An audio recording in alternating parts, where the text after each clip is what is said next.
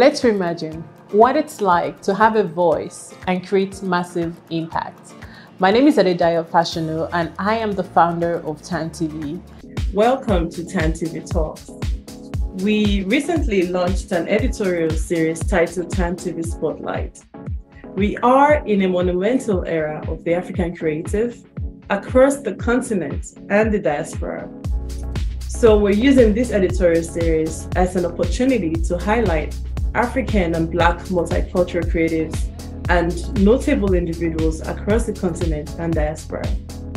So today, I am delighted about who we have on this latest spotlight. He's an African creative all the way from Ghana. We're going to be chatting with Nana Kwasi. So I'm going to share a bit about Nana with you.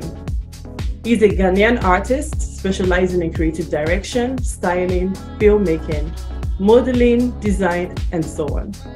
So he's a master storyteller who uses different forms of mediums to tell stories. He's also the founder of Very Ghanaian.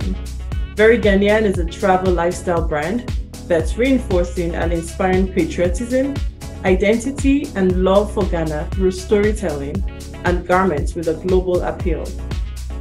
Nana's brand represents his love for the motherland and his quest consistently frame in a good light the narrative about the country and to a large extent the continent of Africa.